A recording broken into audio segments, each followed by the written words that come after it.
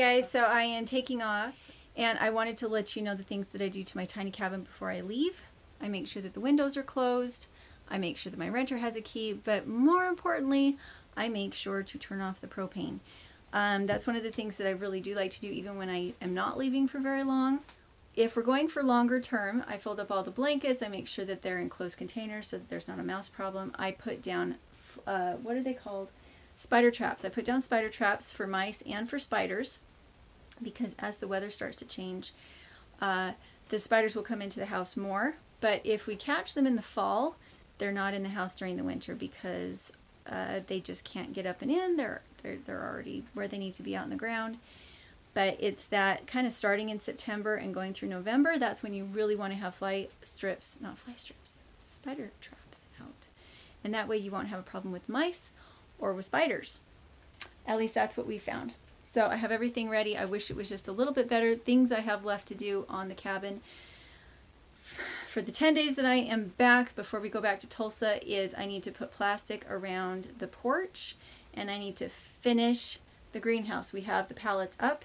Now we just need to put the cow panels up and the plastic up so we have a lot to do. So hopefully you'll stay tuned and um, we have our wood ready for winter because we go through so little with the Rocket Mass heater. Let's see if I can show you in all my mess. There's the Rocket Mass heater. So the Rocket Mass heater uses so little wood that the two-year supply that would have lasted us in the big house, we haven't even made a dent in it. So we've got all of our wood ready to go. And um, I'm starting to kind of wonder if I really need the outdoor kitchen on the deck. The reason being that our summers really don't get that hot and it's so convenient to use the little Elmira in here. Sorry, let's see if I can show you. The Elmira, we use the propane on the Elmira to cook with. And I don't know. I, I kind of think that an outdoor kitchen would be a really good idea, but not on the deck because that real estate is very prime and it's a little bit hard to um, justify it. But it but if I don't have the outdoor kitchen out there with plastic around it, then my propane gets blown out when I'm cooking out there. So.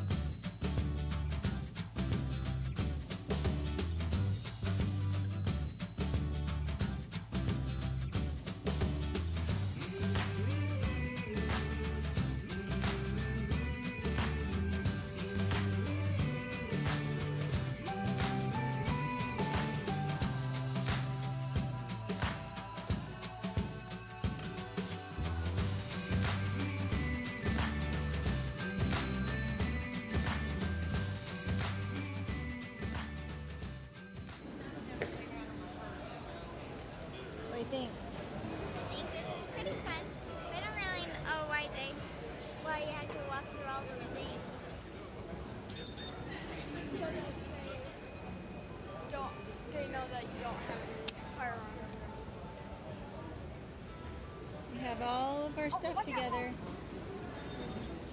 Paige, you got it? Go ahead.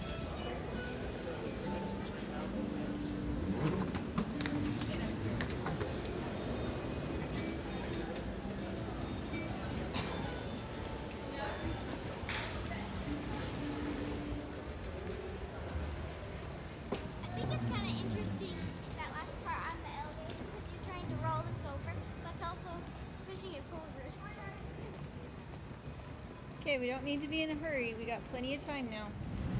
So are they gonna turn off the lights? Maybe.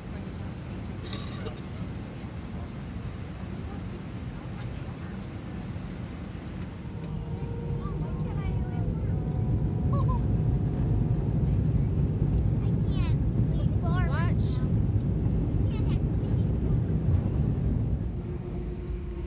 He's copying the engine.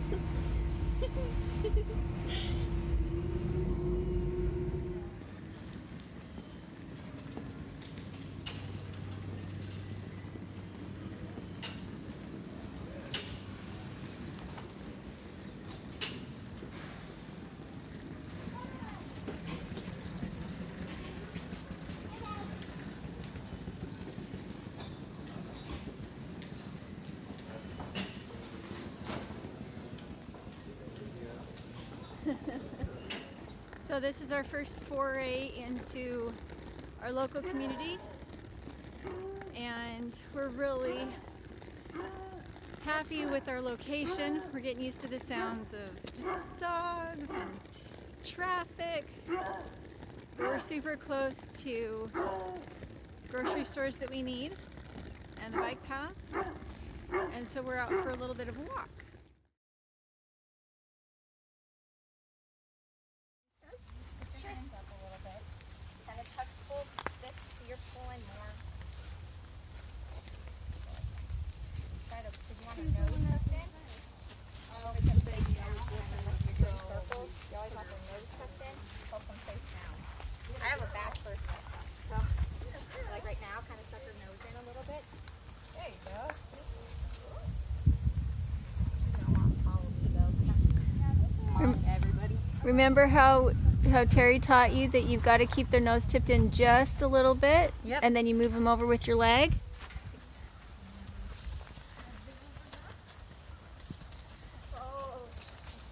Pull her back a little.